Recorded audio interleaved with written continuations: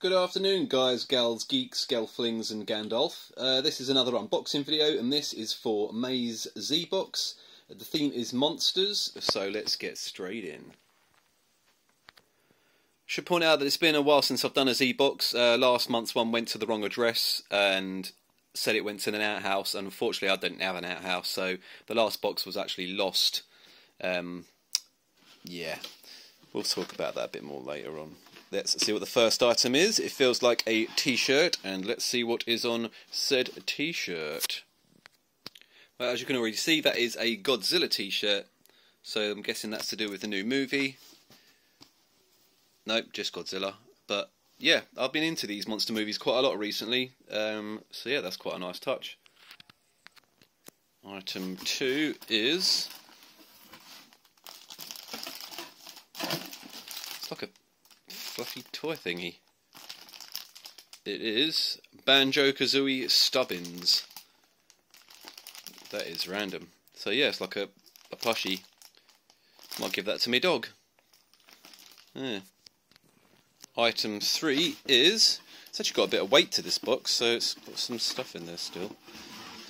It is ah wicked.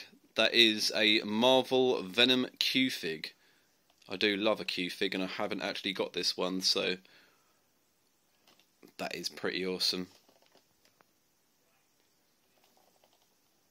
Lovely little figure. Yeah. Ooh. Z-Box. Item 4.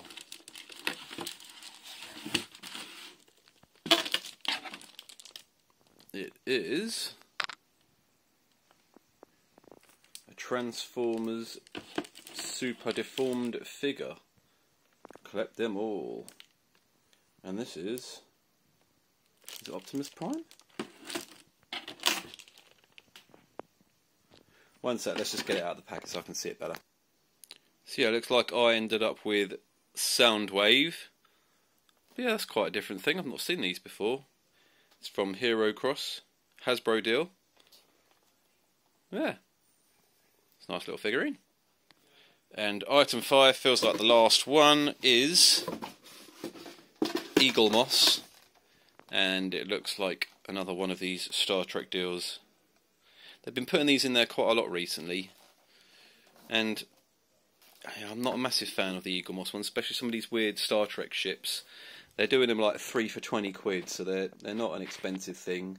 Um, and that's one of the problems I've had with Z-Box recently. It seems to be we are getting a box of sale items, really. I mean, none of these items are brand new.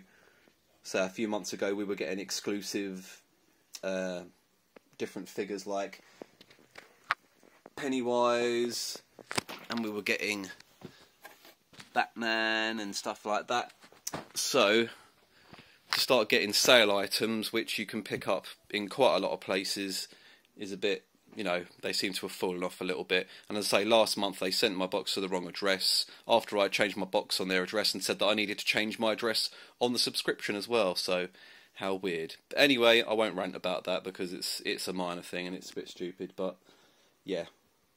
Anyway, I think next month will be the last one I have actually cancelled my subscription. I will be doing some Click Crates reviews soon and some others, so keep your eyes out for them. But yeah, for this month, it's not a bad box. I do like the Venom figure, and the Star uh, Star Trek uh, Transformers figurine's not too bad either.